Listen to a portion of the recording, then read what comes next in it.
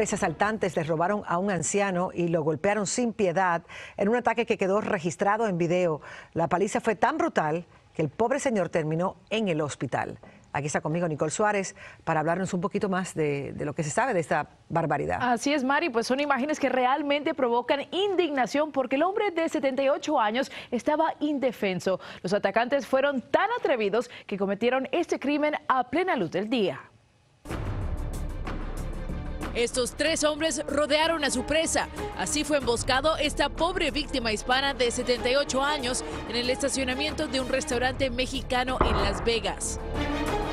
En el video se ve como los criminales aprovecharon el momento cuando él salía de su auto, le arrebataron las llaves y le dieron tremenda golpiza, mientras que él solo podía taparse la cara.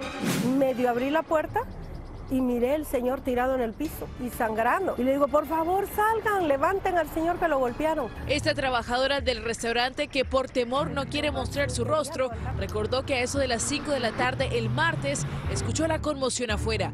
Cuando ella y el dueño del negocio salieron a ayudarlo, los sospechosos ya se habían dado a la fuga con su auto y su celular. Estaba tirado, él nomás quería levantarse y no podía. Este ataque en contra de un anciano provocó una pronta investigación por parte de las autoridades locales. Y básicamente en este caso el señor no hizo nada, cumplió con lo que exigían los sospechosos y además de eso todavía lo golpearon demasiado violentamente.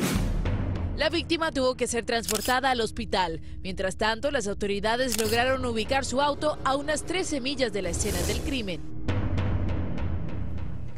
La buena noticia es que gracias a la cooperación de la comunidad, las autoridades lograron arrestar a varios sospechosos solo horas después de que se dieran a conocer estas imágenes. Y esa misma pandilla, Nicole, sabemos que ya está siendo investigada por otros robos en el área, así que ahora va a enfrentar todo el peso de la ley. Gracias. Pero en el puente fronterizo de Ciudad Juárez, Chihuahua, de manera cotidiana equipos armados de operaciones especiales realizan prácticas de contención.